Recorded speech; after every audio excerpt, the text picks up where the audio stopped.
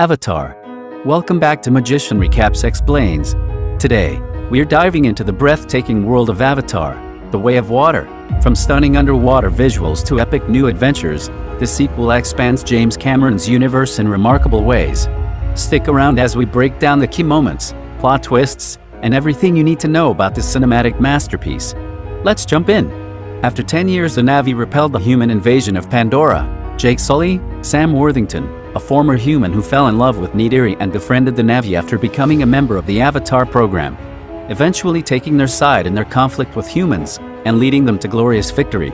He left his human body to permanently become one of the Na'vi.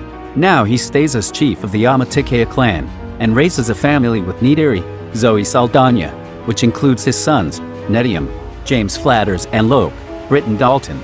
Also his biological daughter, Tuk, Trinity Jo-Li Bliss, and his adopted daughter, Kiri, Sigourney Weaver, born from Grace Augustine's inert Na'vi avatar, and a human boy known as Miles Socorro, Spider, Jack Champion, the son of Colonel Miles Quaritch, Stephen Lang, Colonel Miles Quaritch, a human who led the security forces of the RDA, the human organization colonizing Pandora, in their conflict with the Na'vi, who was born on Pandora and was not able to be transported to Earth in cryostasis due to his young age. The Na'vi sent all the humans back home, but maintain the scientists like Norm and Max to help continue their study of the Na'vi ecology and biology. To the Na'vi's disappointment, humans return to Pandora to prepare it for colonization, as Earth is dying. They build up a new main operating base, named Bridgehead City. Among the new arrivals are recombinants, Na'vi avatars with the memories of deceased RDA Marines, with Quaritch's recombinant as their leader. General Frances Ardmore, Edie Falco, is the commander in charge of the planet. Jake begins a guerrilla campaign against the RDA supply lines by attacking maglev train carrying weapons. Quaritch and his recombinants conduct a counterinsurgency mission against Jake. They are dropped close to the magnetic mountains in the hope that the Na'vi DNA will not trigger the immune response from the local ecosystem, unfortunately. His children are also nearby, and they told Jake about the recombinants. However, they captured his children one Miles' as team searching for footage of their last encounter with Jake and Neytiri. Spider got to know that Miles is his father and that he was killed by Neytiri. Jake and Neytiri arrive and free most of them, but Spider is taken by Quaritch, who recognizes him as his son. He decides to spend more time with him in order to draw Spider on his side, and in turn, Spider teaches Quaritch about Na'vi culture and language. Knowing fully of the danger Spider's knowledge does, he knew their entire base and tactics of operations and also of his whereabouts poses to their safety. Jake and his family exile themselves from the Omatikaya and travel to retreat to the Metkayina Reef People clan at Pandora's eastern seaboard, where they are given shelter, even though some tribesmen consider them to have demon blood, for their genetic human heritage. The family gradually learns the ways of the Reef People.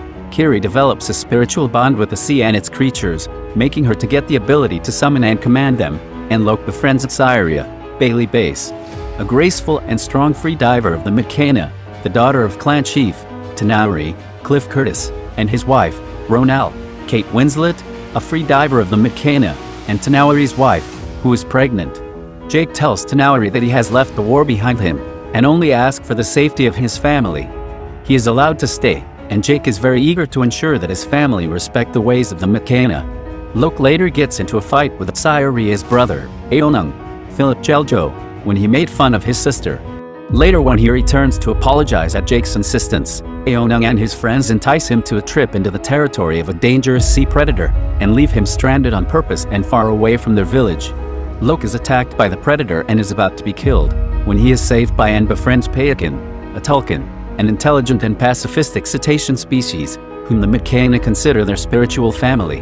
Payakan is a loner and sees Lo'ak also as a loner and hence saves him. Upon his return, the chief attempts to punish his son, but Lo'ak takes the blame on himself, winning Aonung's friendship, but is told that Payakan is an outcast among his species. On a trip to the Metkayina's Tree of Souls, Kiri links with it to meet her mother, but suffers a violent seizure.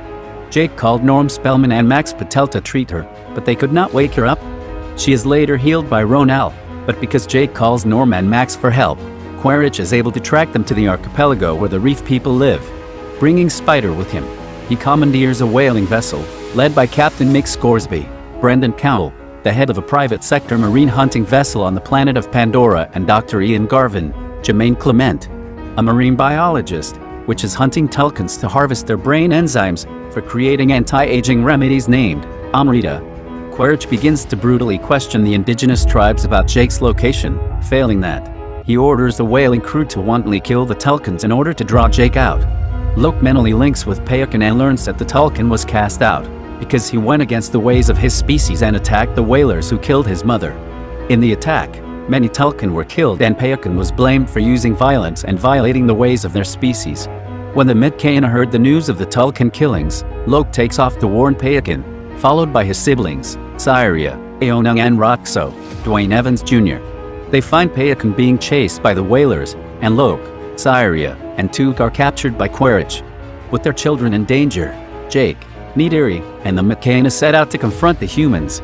Quaritch forces Jake to surrender, but seeing his soul brother imperiled, Payakan attacks the whalers, triggering a fight that destroys most of the crew and critically damages the vessel, causing it to sink. Neteyam rescues Lo'ak, Tsireya, and Spider, but he is brutally shot and killed. Jake faces Quaritch, who uses Kiri as a hostage. When Neytiri does the same with Spider, Quaritch at first denies his relationship with him but desists when Neytiri cuts Spider across the chest. A fight ensues between Jake and Miles as the vessel continues to sink. Jake, Quaritch, Neytiri, and Tuk end up trapped inside the sinking vessel. After a long fight, Jake strangles Quaritch into unconsciousness and is rescued by Lo'ak and Payakan, and Kiri summons sea creatures to help her save Neytiri and Tuk. Spider finds and rescues Quaritch, but renounces him for his cruelty and rejoins Jake's family. After Neteyam's funeral, Jake informs Tonowari and Ronal of his decision to leave the Metkayina. Tonowari, however, respectfully identifies him as part of the clan and welcomes his family to stay. Jake and his family accept and forge a new life at sea, with Jake vowing to keep fighting the human invaders. That wraps up our recap of Avatar, The Way of Water, from its stunning visuals to its deep dive into Pandora's oceans, this film continues to push the boundaries of storytelling and technology. What did you think of the movie? Share your thoughts in the comments below. Don't forget to like, subscribe, and hit the bell icon for more recaps and movie insights. Thanks for watching, and see you next time.